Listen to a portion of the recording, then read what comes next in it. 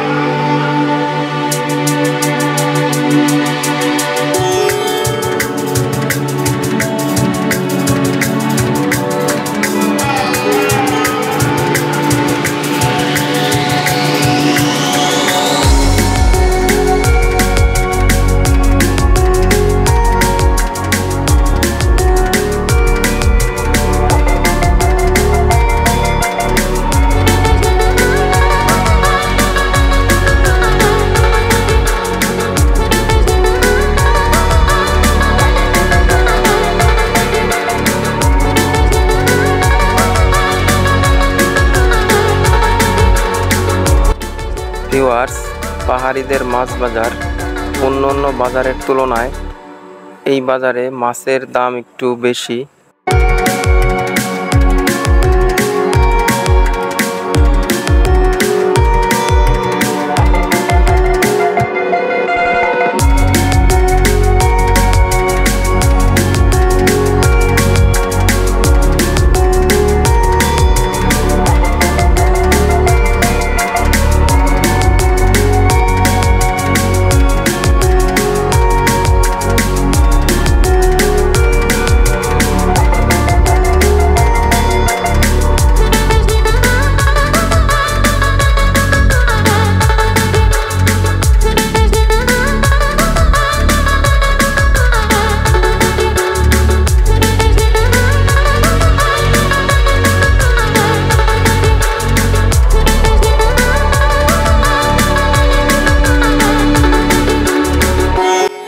Viewers এই বাজারে বিভিন্ন ধরনের পাহাড়ি ফল ফলালি পাওয়া যায়।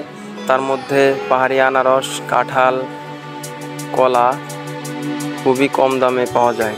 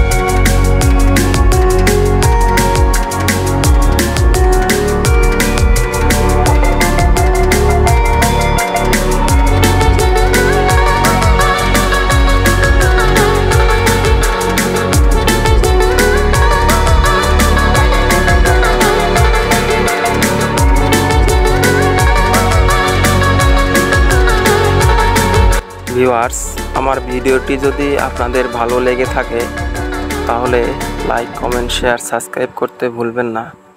আবার কোনো নতুন ভিডিওতে দেখা হবে, সে পর্যন্ত সবাই ভালো থাকবেন। আসসালামু আলাইকুম।